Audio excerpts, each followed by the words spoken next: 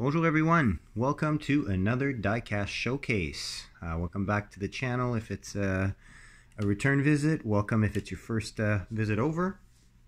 So um, yep, today we're going to be doing another uh, little quick showcase uh, com in combination with um, recent finds. Um, so um, I did manage over the past week or two to find um, half a dozen uh, or less than that actually. A couple, uh, couple uh, premium casts basically that I'm uh, um, that I'm happy I found. Um, I'll start off with um, a lone Greenlight that uh, there was a couple good drops of Greenlight in my area in the last uh, couple weeks. Um, well, except for the last couple weeks, should I say? Um, I did though manage to find something I um, am definitely happy I found, and it's definitely in line with the uh, type of vehicle that I do collect. So first vehicle we're going to check out would be this uh, Greenlight 1979, uh, 1978 Ford F250 with uh, lots of patina, uh, and this is out of the uh, Yellowstone uh, Greenlight Hollywood series. Um, so this is a pretty fresh release, Series 38. Uh, True 164. It's uh, uh, metal on metal, as you can see here. Um, and yeah, I'm not really familiar with the show itself. I don't really watch it, basically. But, uh, I mean, this truck, I, I saw it, and I um, out of the series, it's the one I had to have. Um, you know, you got some rusty fender, rusty hood, rust on the top with the peeling paint. Even the bed is like all rusted out and dirty. Some Really nice rust detail on the bumper. As you can see, you got a really good amount of detail on this thing. Wheels are pretty authentic. Um, yeah, it's a really nice truck. I do find it would have been nice if uh, there was a little bit extra patina on that front bumper. But all in all, uh, very nice. Uh, this will look great uh, in conjunction with the um, release from uh, Independence Day that uh, that beat up Chevy pickup uh, 70 Chevy pickup basically that uh, was in the movie. Um, so yeah, I'm really happy about the about this little addition. Plus, I don't have a whole lot of cast with this body style of Ford pickup, if any at all, actually. So uh, definitely a cool ad there. Um, next up, I was um, um, lucky enough to stumble upon a fairly fresh drop of uh, the new um, drag, drag strip demon uh, rehash uh, so the new series. Uh, wasn't interested in all the castings and i did notice upon arriving that there were two full sets missing only one Willys uh, 33 Willys uh, rust bucket. Um, so i'm assuming that was a chase and i'm assuming i was second in line probably. Um, but uh, nevertheless, won't peruse on that too long. I did manage to pick up the regular version, which is really cool. Another little pat patinated truck for you there. Um, new casting for Hot Wheels. Definitely uh, nicely done, at least in my opinion. Um, surprisingly enough, the front light tampos maybe a little bit too clean compared to the rest. That's just my opinion there, mind you. But uh, uh, besides that, I mean, the rust application, very, very good. Pretty realistic. I like the full uh, wood on the side of the box there. You got ample amount of rust on the top as well. Got the cool uh, little 392 Hemi uh, um, script on the hood. Got a little Chrysler engine in there. I guess, or Mopar. Maybe not you guys can definitely correct me if I'm wrong in the comments. But uh, yeah, love the fact that uh, you got that uh, that air breather popping out of there. The blower, very cool. Nice wheel setup as well with those uh, those steel wheels, kind of like the milk truck wheels. Definitely, uh, definitely staggered the way I like. Not so much in diameter, but really in width. You can definitely see the setup here, how it looks from underneath. Open headers. Really, really nice cast. I definitely, definitely like this a lot. And uh, yeah, you got this metal chute in the back there. Pretty cool. pretty pretty cool. So that was definitely the one I was pretty much most forward looking uh, looking forward to. Pretty much the only one I thought I'd actually pick up. But uh, then I saw this one, which seems to be the set favorite for most. And I was like, darn, that paint job. So retro, so nice. Really nice metallic purple.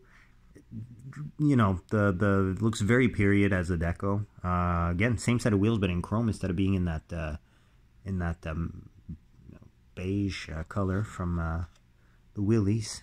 Um, great uh, detail work and I, I, I, kind of wanted to pick this one up as well because this model uh, Plymouth Duster uh, was actually my dad's first car so found that was pretty cool as well that they decided to include this in the lineup and it's a straight up drag car you know it, it's it's kind of thing I'd see uh, I'd see in a 1320 video when uh, you know they do a no prep uh, no prep you know Mexico run you know things like that. So very cool. Very, very cool. I mean, there's nothing I really can fault about this casting. Everything's perfect, basically. Everything is good. Down to the sponsorships that are the sponsorships that are pretty much all, yeah, all legit, real, licensed sponsors. Well, plus obviously a little Hot Wheels Flame there, but you know.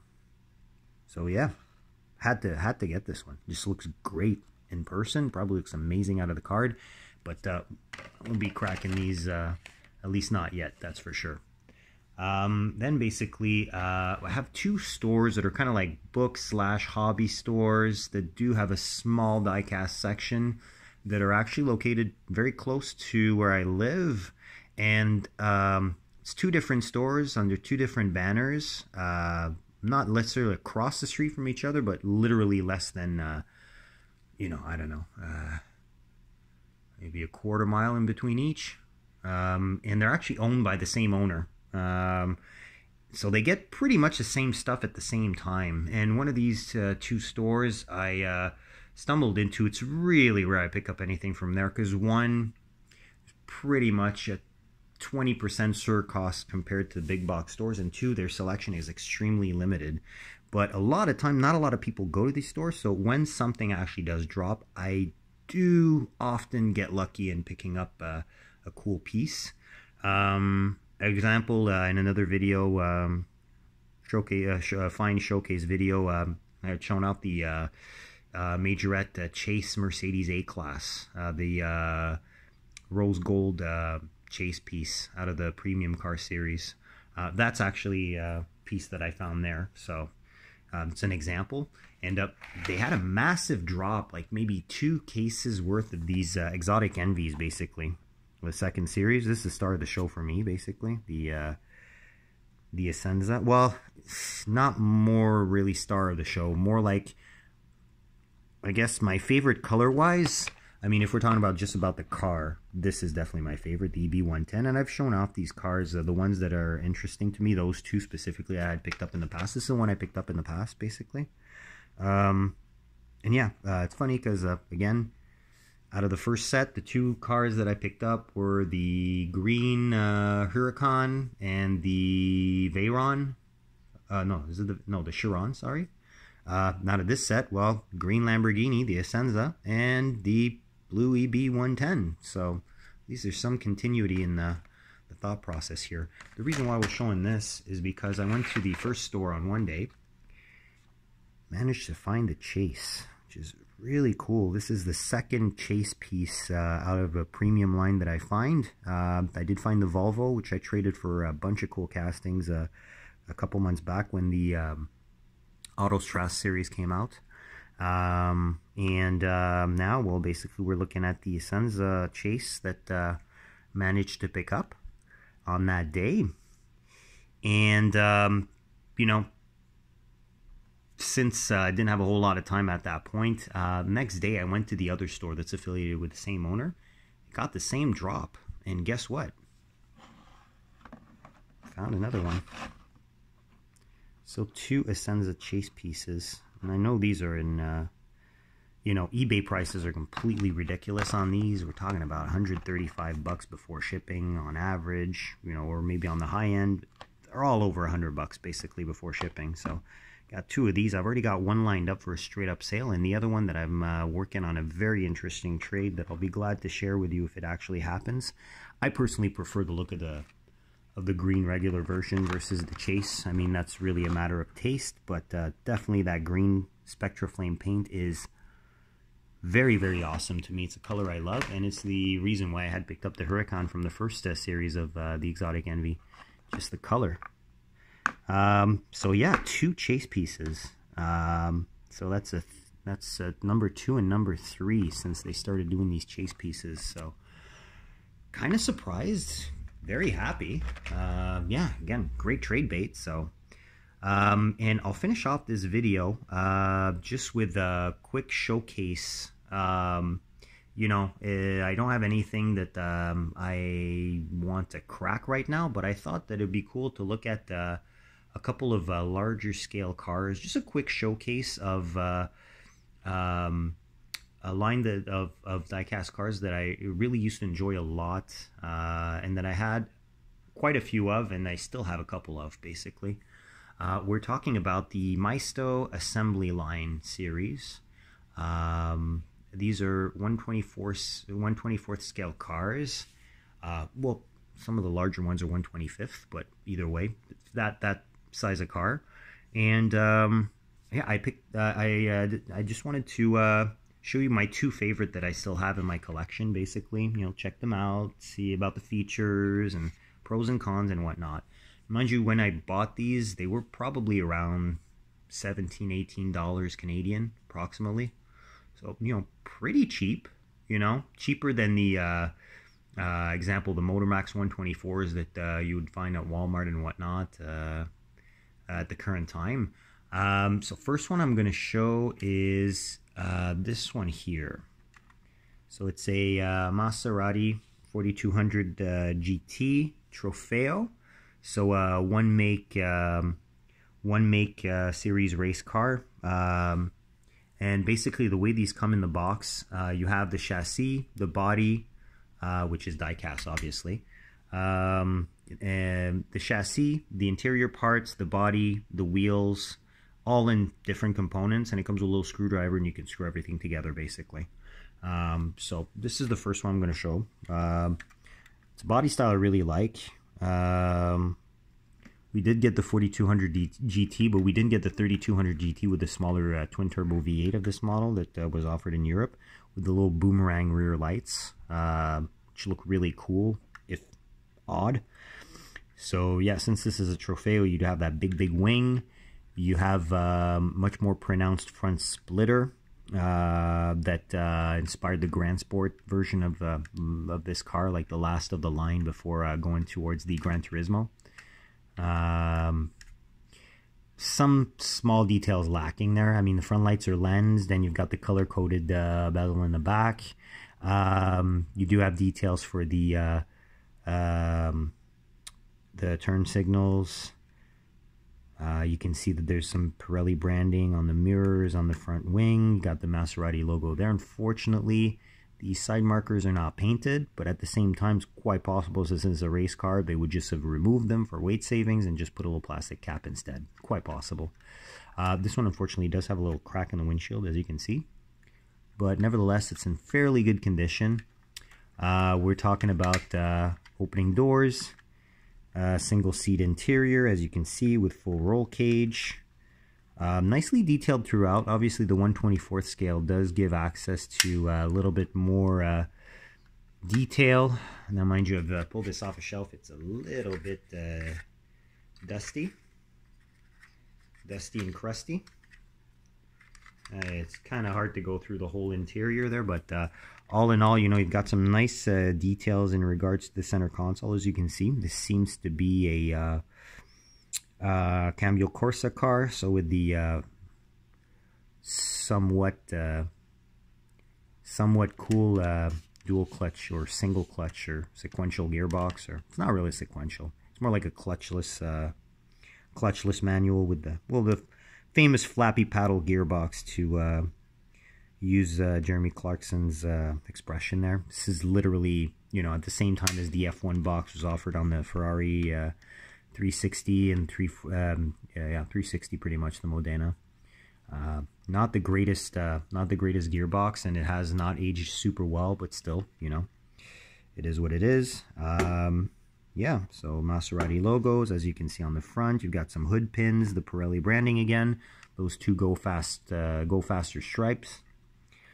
And um, yeah, the hood does open as well. Doesn't stay open, unfortunately. These are not super high quality, right? But uh, you know, decent engine with the uh, those uh, infamous heads. Basically, they look really, really good. I mean, you know, it's a good-looking engine. Uh, this is actually another piece that you put uh, that you put together there. All the metal stuff, including the hood that opens and the doors, they're all assembled already when you buy these. Um, I honestly don't know what these would be worth, but uh, you know, either way, uh, you know, you got the uh, steerable wheels. Um, they don't work with the steering wheel per se. You can still pose them to a certain extent, and the wheels are actually Grand Sport wheels. Uh, they're very well reproduced, so I like this car. It's definitely a nice looking, uh, nice looking vehicle, and uh, you know that, uh, yeah, really nice car. Uh, second one, last car we're going to show. You just close off with uh, kind of a bang there. Um, we're going to close off the showcase with uh, another Maisto assembly line model. You know, this is a 124 scale. This one is the uh, here, let's put this one a little bit more in the background here, and uh, we'll check out this one, which is one of my favorite cars from the 90s, the Mercedes-Benz CLK GTR.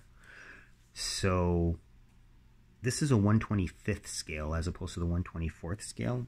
You can kind of see that the Maserati looks a little bit bigger than it should in comparison, but uh, these, these cars are very, very wide. And I mean, if they went 124th, they would have to design new packaging and uh, compared to the other models that are offered in this series, which vary from uh, American Muscle all the way to uh, you know other uh, other European uh, vehicles, and um, not sure if they do anything Japanese in that series, but either way, I digress. Check out the details on this one. I find this one is a little bit better quality, and it is an older release. Um, a lot of features per se. You know, you've got the posable wheels again. These are then the at, at the period where this one came out. Not sure there's a copyright under this. Fortunately, not. It's actually 126 scale from what I can see. But um, yeah, so uh, they actually used to come with two sets of wheels. I actually have um, another one that I'll probably pull out another time uh, for another showcase there. But uh, yeah, they used to put uh, two sets of wheels in different colors, basically same wheel design, the stock wheel design. Um, so I obviously opted to put the silvers uh, on this one as it was more representative of what the car should look like. Uh, but it did also come with the same set of wheels, but in gold chrome, which is pretty cool. Those wheels are aside somewhere, and I'm keeping them for, uh, uh, you know, I don't know, some other alternate use on another model, maybe. Um, only one set of tires though, because these tires you can remove. They are treaded. Uh, they're rubber. You've got the uh, mirrors that are uh, the wing mirrors, which are pretty cool. Also, this one does have uh, opening doors, which are kind of hard to get open, but once you do, they do open and they actually stay open. Give you a little glimpse of the interior, but I mean, there's it's nothing too uh, too flattering or anything like that. You'll probably see a little bit that the seats do have the harnesses and that plaid uh, plaid looking seat material. We can get a better view from this side. Yeah, there you go. Yeah, so those are just stickers basically that you just apply to the seats. So it's nothing crazy. Again, the uh, so the turn signals on the side are not painted in, which is kind of a shame. You do have the little Mercedes badge here that is extremely prone to braking, but it is there, just like the real car. And, you know, you've got the AMG sticker that you put on the front plate, which is showing definite signs of age, as this has been displayed for better part of a decade. Lens front lights and lens rears, obviously. Uh, no opening uh, no opening clamshell on the back. That would have been awesome, but pretty sure would have been also at another price point. Other than that, the details are pretty good. You know, slightly, you know, as you can see on the bottom part here, it's slightly, a little bit, uh, a little bit of casting, uh, casting issue there. It's a little bit sloppy, but you know, overall not bad. Uh, base being black plastic is great because it gives a great look to the diffuser versus the uh, metal body and classic Mercedes Brilliant Silver. And you got that big air scoop for the engine that's uh, mounted uh, mid-rear. So there you go. So that pretty much concludes what I wanted to show you today. So hopefully you enjoyed uh, looking at these two uh, these two models here, two little race cars. Um, you know, if you liked uh, what you saw, uh, feel free to leave a like, of course, uh, comment your feedback, and uh, subscribe to be advised of when uh, I upload next. On that, I'll uh, bid you farewell, happy hunting, and stay safe. I'll see you on the next one. Bye-bye.